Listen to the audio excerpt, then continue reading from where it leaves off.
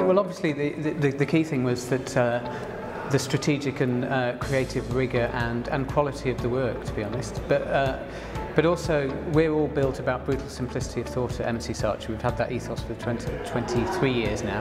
Uh, and I think when we saw the, the, the work uh, and spoke to the guys, they had a very similar philosophy, and I think that was the, the thing that really attracted us to them. And also just the, just the guys. Um, MC Saatchi is built about kind of cultural, cultural align, alignment as much as, as much as anything else.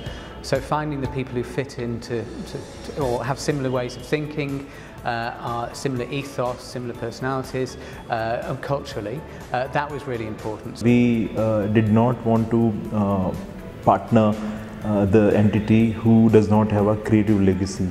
Uh, creative legacy is I think one of the biggest in the world probably. Uh, the brothers and the name Saatchi, I think there is a lot uh, kind of uh, one can say it's a, it's a precious uh, legacy and I think we immediately vibed well with that legacy. Obviously we aspired to you know partner with them that in that sense. I think uh, that is the primary reason why kind of the our first love with uh, you know this uh, this kind of partnership one can kind of justify with.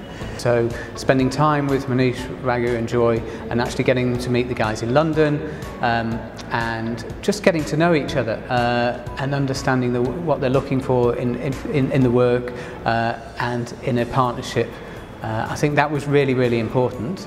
Um, so, and that's what attracts us to him. Um, and the fact probably that they, they didn't really want to didn't really want to sell, uh, and we are looking to, to partner up with people who want to grow their business, not exit their business.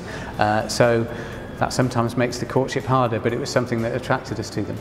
Uh, yeah, of course there are uh, other things when we kind of went and met More, another uh, charming uh, person and a kind of really, really human and the way, uh, you know, uh, he pull things, uh, you know, I mean, kind of how, uh, when we, we vibed very well with him. Of course, we also gone through the testimony of their specialty kind of agencies and stuff. And also we made the PLC like David Kershaw and Jeremy Sinclair and all. So I think uh, everything uh, was some somewhat kind of uh, make a, I mean, kind of helped us to make a primary choice to move ahead with. We feel that it, it worth taking that much time, and I think uh, we really uh, you know joined hands with someone whom really uh, like wanted to or you know would aspire to types.